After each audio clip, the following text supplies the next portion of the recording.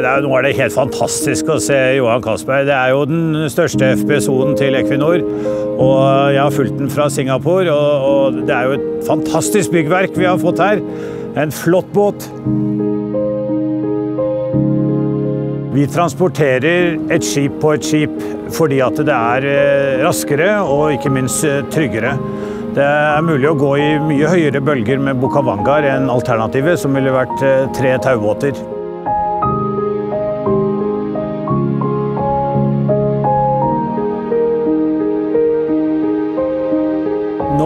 Skal vi fjerne sjøsikringen. Det tar et par dager. Og så skal vi flyte av etter at Bukavangar har senket seg ned eh, en 12-13 meter.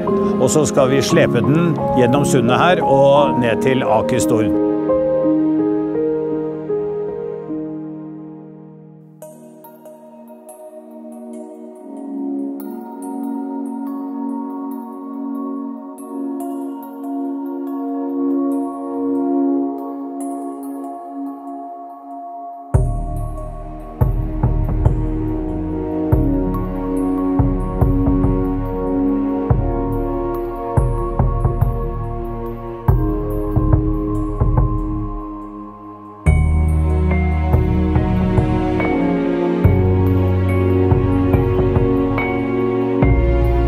Slepet går med taubåter, for produksjonsskipet skal ligge i ro på feltet i 30 år og har ikke framdriftsmaskineri.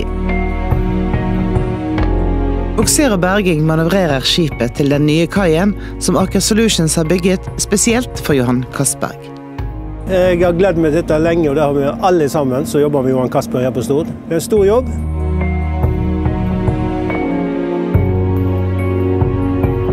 Jeg vil si at kontrakten er stor for Aker Solution, iallfall i mitt bilde. 1500 kommer til å jobbe ute til enhver tid, minimum. Og det vil nok være 3000 pluss som går i rotasjon på dette prosjektet. her, Så det får ringvirkninger for både Aker og for hele samfunnet rundt her. Aker Solutions er hovedleverandør av prosessanlegget, som er bygget langs hele norskekysten, fra Egersund til Hammerfest. Disse modulene skal løftes om bord i sommer. Aker Solutions ble også tildelt kontrakten for integrasjon og ferdigstilling av produksjonsskipet. Pga. covid-19 overtar de i tillegg noe arbeid fra Singapore, som rørarbeid, malearbeid og isolasjon. I tillegg ble dreieskiva som skipet roterer rundt, installert på Stord av verdens største kranløftefartøy, Sleipnir.